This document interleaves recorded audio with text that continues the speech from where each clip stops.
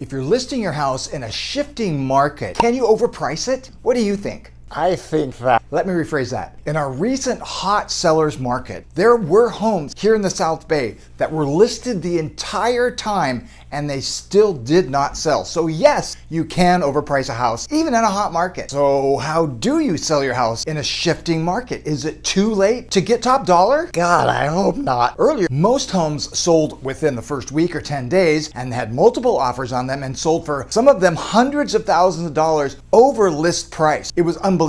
The list price was the starting bid. Hey, Prices were being driven by low supply, high demand, and ridiculously low mortgage interest rates. Now we're seeing less demand just due to several colliding circumstances. colliding? Uh, They collide? We're in a local and nationwide inventory shortage. We've been that way since around 2012, and there's no end in sight.